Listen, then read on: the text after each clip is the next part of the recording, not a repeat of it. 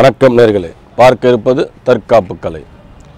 தற்காப்பு கலை என்பது உங்களுடைய உயிருக்கோ உயிர்மன உடைமைக்கோ ஆபத்து ஏற்படும் பொழுது அடுத்தவுடைய உதவியின்றி உங்களுடைய காத்துக்கொள்ளும் வண்ணம் உள்ள கலைதான் தற்காப்பு கலை.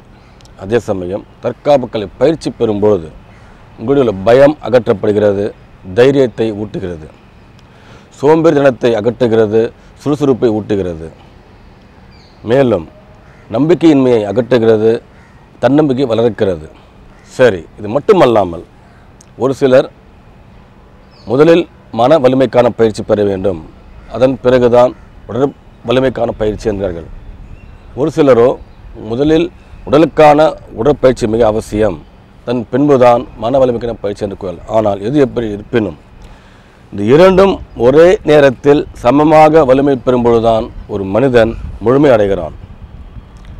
அப்படி பார்க்கும்பொழுது தற்காப்பு கலை பயிற்சி மட்டும்தான் உடல் வலிமைக்கும் மன வலிமைக்கும் ஒரே சமயத்தில் உங்களுக்கு வலிமை கூட்டக்கூடியது. அதுதான் உங்களை சரியான பாதையில் இழுத்துச் செல்லும் உங்களுடைய ஒவ்வொரு செயலும் தொழில்நோக்கு பார்வை அமையும். சரி பார்க்க இருப்பது மாற்று புத்திக்கு மாற்று புத்தி. அதாவது ஆபத்து ஏற்படும் பொழுது நீங்கள் ஒரு உத்தியை செய்யும் பொழுது அந்த புத்தி சற்று எதிர்பாராமல் தவறும் பட்சத்தில் நாம் எவ்வாறு புத்தியை மாற்றிக்கொள்வது தப்பித்துக் கொள்வது? இந்த புத்தியை பாருங்கள். மேலே நாம் பார்த்து கொண்டிருப்பது நன்சக்கு என்று கூறப்படும் நூட்டியாக்கு என்ற ஒரு ரீக்கு உடைய கருவிதான். அதாவது எட்டு வகையான தற்காப்பு கொண்டு தான் நன்சக்கு. நான் உங்களுக்கு கூறுது போல் இதுக்கு மாற்று ஒரு துப்பட்டா ஒரு டவல் ஒரு கயிறு ஒரு பேனா ஒரு பென்சில் இறுக்கி சுற்றிய பத்திரிகையே போதுமானது மாற்றாக. நாம் இப்போ புதிய புத்தி மாற்று புத்திக்கு ஒரு மாற்று புத்தி அதுக்கு முன்பாக நாம் பார்த்ததை பார்ப்போம். காரணம் உங்களுடைய ஞாபகம் மூட்டவே. நாம் பார்த்த முதல் புத்தி இதில் மேலே குத்தும் கத்தியால் தடுத்தோம். சோதனைக்கு என்ற தடுப்பு மூலமாக அடுத்தது கையை பின்பக்கமாக சென்று மடக்கி எடுத்து தாக்கினோம். பார்த்த உத்தியை. அடுத்து பார்த்தோம் இதுக்கு மாற்றாக தடுத்து மடக்கும்போது மடக்க அவன் ஏதுவாக விட விடாவிட்டால் உள்ளே சென்று திருப்பி நாம் பார்த்தோம். அடுத்து பார்த்தோம். மேல் பக்கத்துக்கு தடுத்து தள்ளி தூக்கி தாக்கு பார்த்தோம். அடுத்து பார்த்தோம். வயிற்று பகுதிக்கு தடுத்தோம். சுரட்டினோம் இழுத்து நாம் தாக்க முடியும். ஒருவேளை குத்தும்போது நாம் சுழற்றி இழுக்க முடியாவிட்டால் பார்த்த புத்தி எதிரி வீழ்த்தப்படுவான். அடுத்து பார்த்தோம் இது குத்த விரும்புவது வயிற்று பகுதியில் நாம் சற்று பின்னோக்கி நகர வேண்டும். நகர்ந்து தாக்கலாம் முன்னோக்கி கைப்பகுதியில் கத்தி விடுபடும் தாக்கலாம் மண்டை பகுதியில் நாம் பார்த்தோம். அதாவது இது அனைத்தும் மாற்று புத்திகள் தான் சரி ஒரு வேலை இந்த கருவி வைத்தியங்கள் செய்யும்போது தடுக்கும்போது இந்த சங்கிலி அருந்து போகும் பட்சத்தில் நாம் எவ்வாறு புத்தியை மாற்றிக்கொள்வது அதற்கு பார்த்தோம். அந்த புத்தியை பாருங்கள். நீங்கள் தடுக்கும்போது சங்கிலி அறுந்து போகும் பட்சத்தில் குத்தும்போது குத்து குத்தும் தாக்குங்கள். நீங்கள் தாக்க முடியும் எதிரி உங்கள் காலடிகள். பார்த்த உத்தியை. நாம் பார்த்த என்னவென்றால் சங்கிலி அறுந்து போகும் பட்சத்தை பார்த்தோம். இப்போ செய்யும் புத்திக்கும் ஒரு மாற்று உண்டு. அதாவது வர்மத்திற்கும் இந்த புத்திக்கும் சம்பந்தம் உண்டு. இந்த புத்தியை பாருங்கள்.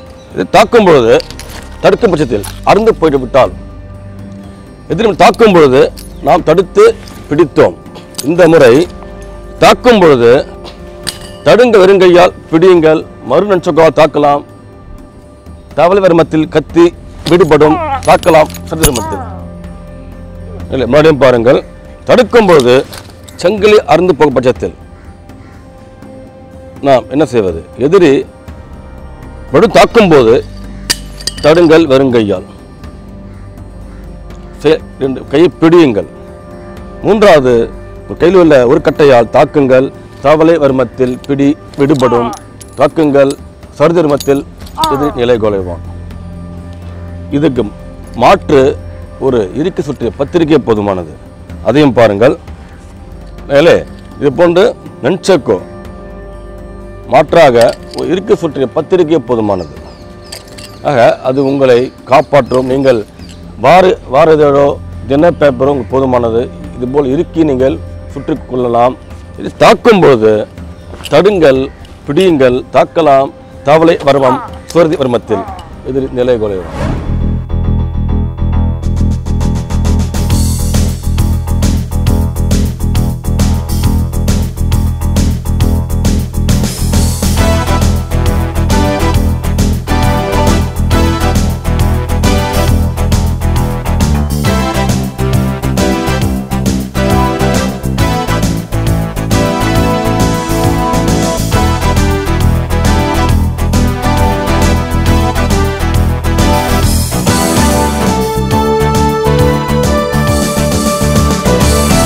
இது போன்ற எதுக்கு சுற்றிய பத்திரிகை மிக மிக வலிமையானது? ஆனால் முறையான பயிற்சி வேணும். ஆசிரியர் கொண்டு பயிற்சி பெற்ற பிறகு செய்து பாருங்கள். பயிற்சியை பாருங்கள். இப்போ வந்து இது வந்து பயிற்சிக்கான நேரம். இது வந்து நன்சக்கோ இல்லையா? உங்களுக்கு தெரியும். இது நம்ம ப- இது நம்ம செஞ்சுருக்கோம் தற்காப்புக்காக. ஒரு வேலை நீங்கள் செய்யும் பொழுது நன்சக்கோ அருந்து போகும் பட்சத்தில் நம்ம என்ன செய்வது? ஓகே? கவனிங்க. இதில் போய் தாக்கும் பொழுது தடுக்கும் பொழுது எது சங்கிலி அருந்த போகும் பட்சத்தில். எதிரி மனம் தாக்கும் பொழுது எடுத்தாங்க தடுங்க வெறும் கையில். கையை பிடிங்க. எதிரினுடைய உடம்பில் உள்ளது நூற்றி வர்மங்கள். அதில் ஒன்று தான் தாவலே வர்மம் தோள்பட்டைக்கும் முழங்க முட்டைக்கும் அடிப்பது தலைவர்மம் இந்த பக்கவாட்டு பகுதி தான் சருதி வர்மம். தாக்கலாம் மறு கையில் உள்ள கட்டையை கொண்டு தவளை வர்மத்தில் கத்தி விடுபடும். தாக்குங்கள் சரி தர்மத்தில் செயலை முடக்குவதற்காக. அதே சமயம் இதற்கு மாற்றாக ஒரு இறுக்கி சுற்றிய பத்திரிகை போதுமானது. அது பாருங்கள் வாங்க. இல்லை இது பயிற்சிக்கான நேரம் பயிற்சி மிக அவசியம். இங்கு உடல் வாக்கிலும் வயதிலும் வேறுபட்ட பெண்கள் உள்ளார்கள். பயிற்சி அனைவருக்கும் ஒரு பொதுவானது தான் இது வயது வரம்பல்ல யாரும் பயிற்சி பெறலாம் ஆக முதல் செயல் தாக்கும் தடுக்க வேண்டும். மேல் பக்க தடுப்பு. தடுங்க. தடுக்கும் போது இதுதான். இதை தடுக்கணும். இது பேர் செய்கே உடாயுக்கே. புரியுதா உங்களுக்கு? தடுப்பு மிக மாதிரி எடுங்க. ஜோதானுக்கே. இல்லை நீங்கள் பயன்படுத்த பகுதி பக்கவாட்டு பகுதி தான் இதுதான் சைக்கன் உடாயுக்கே. இங்கே நீங்கள் தடுத்தால் உங்கள் கை எலும்பு முறியும். ஆக நீங்கள் பக்கம் நீங்கள் தடுக்க வேண்டும். ஐய் கையை சாட்சி பிடிங்க. நிற்க இருக்குங்க. இப்படி தாக்கக்கூடிய பகுதி தவளை வர்மத்தில் அடுத்தாக்கள் சருதி வர்மத்தில் சருதி வர்மம் என்பது எதினுடைய இந்த பகுதி தான் சரியா? ஒழுங்கு தாக்கணும். மணி வாங்க. ஐய் தடுங்க. நான் பாருங்கள் தடுக்கும் போது இந்த பகுதி யூஸ் பயன்படுத்தணும் ஓகேவா ரைட் மறுபடியும் எடுங்க. இந்த தற்காப்புக்களை பொறுத்தவரை முதல் தக்கல் கூடாது அது ஆக நம்ம செயல் நம்ம செய்யும் முதல் செயல் தடுத்தல் தான். தடுப்பு சரியாக இருக்கணும். நீங்கள் இந்த பகுதி இல்லை இது வந்து மணிக்கட்டு பகுதி. இதுதான் செய்கிற உலாவிக்கு ஐ கையை கீ- கீழே கீழே பிடிங்க. தாக்குங்க தவளை தர்மத்தில் அடுத்து சரதர்மம் சர்தர்மம். ஆய் நீங்கள் வாங்க. நேரே மறுபடியும் முத்திய பாருங்கள். முதல் செயல் தடுத்தல் தான். ஜோதான் யுக்கே என்று கூறப்படும் மேல் பக்க தடுப்பு. நீங்கள் பயன்படுத்தக்கூடிய பகுதி செய்கன் உடாய்க்கின்ற பக்கவாட்டு பகுதி தான். முதல்ல தடுங்க. ஐ. சரி ஒன்று. இரண்டு கையை தள்ளி பிடிங்க இருக்கி கீழே தள்ளி. சரி. உங்களுக்கு வாக வாக அமைந்து விட்டது அந்த தவளை வருமா தாக்குங்க. தாக்குங்க சரதம் அதாவது நீங்கள் தொடக்கூடாது. நீங்கள் தாக்கும்போது அந்த தாக்குதல் போய் அவனுக்கு சேரணும் எதிரிக்கு. உங்கள் ஆபத்தில் இருக்கிறீங்க சரியா? உங்களுடைய வலிமை அங்கே நீங்கள் கொஞ்சம் கூட்டி செய்யணும். ஐ ஐ தருங்க ஐ கீழே கை பிடிக்க பிடிங்க. தாக்குங்க தாக்குங்க. ஐ நீங்கள் வாங்க. ஏ மறுபடியும் பாருங்கள். முதல் செயல் தடுத்தல். தாக்குங்க தடுங்க முதல்ல. கையை சாட்சிப்படியே கீழே? இல்லை. அதாவது தடுக்கும் பொழுது நேராக காலம் எடுத்துக்கொள்ளக்கூடாது. செயலை நீங்கள் என்னது நீட்டிக்கக்கூடாது. ஆக தடுத்தவுடன் ஒரே சமயத்தில் பிடிக்கணும். தடுங்க. கையை சாட்சிக்க கீழே பிடிங்க. தாக்குங்க. தலைமத்தில் அடுத்து. அதாவது தாக்கும்போது வேகம் கூட்டணும். தாக்கு மேலே. இல்லையா? வேகம். வேகம்.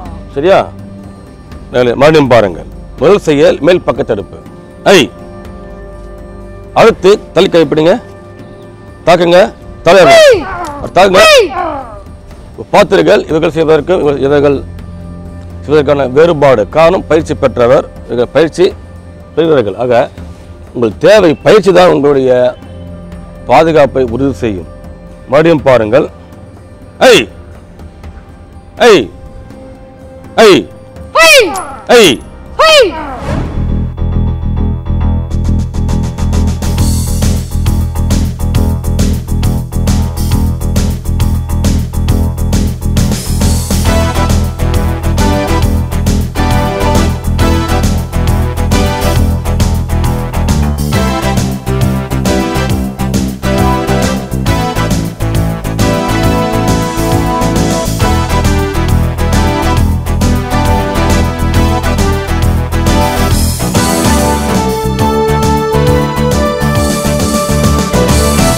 ஏச்சு. கை தள்ளுங்க. தாக்குங்க. சர்ஜர்மம். பார்த்தது நன்சக்கு என்ற கோபுர கருவிதான். இதில் நீங்கள் பயிற்சி பெற்றுள்ள போதுமானது. நீங்கள் எத் எதையும் நீங்கள் மாற்றுப் பொருளாக பயன்படுத்திக் கொள்ள முடியும். குறிப்பாக நன்சக்குக்கு மாற்றாக ஒரு துப்பட்டாவோ ஒரு ஒயரோ ஒரு சிறு குச்சியோ பேனாவோ எதுவும் நீங்கள் மாற்றாக பயன்படுத்தி கொள்ள முடியும் முறையான பயிற்சி பெறும் பட்சத்தில். ஆக உங்கள் தேவை நல்ல ஆசிரியரிடம் நல்ல பள்ளியில் முறையான பயிற்சி மட்டுமே.